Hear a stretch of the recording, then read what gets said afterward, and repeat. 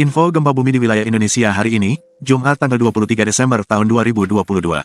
Diketahui Indonesia salah satu wilayah yang sering dilanda gempa bumi. Gempa bumi di Indonesia bahkan banyak menyebabkan kerusakan. Terakhir gempa bumi merusak terjadi di wilayah Cianjur yang menyebabkan bangunan hancur dan banyak korban jiwa. Hal ini terjadi dikarenakan Indonesia merupakan daerah rawan gempa bumi karena dilalui oleh jalur pertemuan tiga lempeng tektonik, yaitu lempeng Indo-Australia, lempeng Resia, dan lempeng Pasifik hingga membuat setiap hari ada terjadi gempa meski bermagnitudo kecil.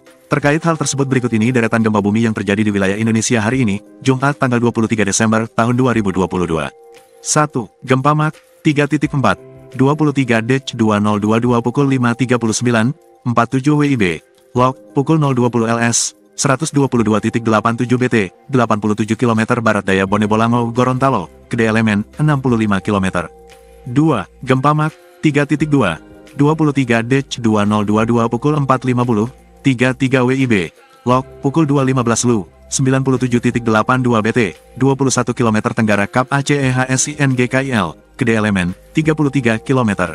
3. Info Gempa Mak, 2.2, 23-2204, pukul 21.24 waktu Indonesia Barat, log, 7.93 LS 110.54 BT, 10 km barat laut Gunung Kidul DIY, Gede Elemen, 12 km, BMKG KRK.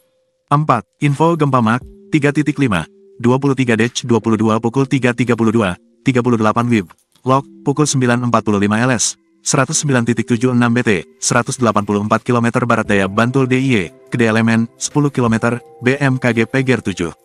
5. Gempa Mak, 3.8, 23 Dec 2022 pukul 043, 35 WIB, log 9.72 LS, 117.94 BT, 116 km barat daya Kodi Sumba Barat Daya NTT, Gede Elemen, 10 km.